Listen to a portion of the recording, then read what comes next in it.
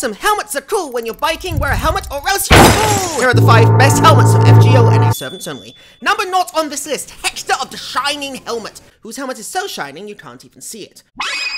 Cha-Cha! At first glance, she may appear a small girl with a giant bucket on her head. And to be honest, that's exactly what she is. Cha-Cha is, however, nothing if not funny. And how do you not love a helmet that looks like it could tip over its wearer at any second? The helmet itself is gorgeous and boasts a combination of size, ornament, and regality unmatched. Gareth, helmets add regality, protection, and might, all to make you look even more adorable. Plus, it really makes those headbutts hurt, and maybe headpats too. Oh, a Spartaman! Need I say more? Artoria and Mordred both instill fear. One, an almost divine presence to whom you must grant fealty. The other, a rebellious demon born of pure malice. Whether mane of regality or horns of defiance, both are undoubtedly sure to stop you in your very tracks. Leonidas, battle hardened yet gleaming, harsh and intimidating, but undoubtedly cool. Admit you've always wanted to wear his Spartan helmet. You want to wear it now, don't you? Don't you? Don't you? Because I know I do.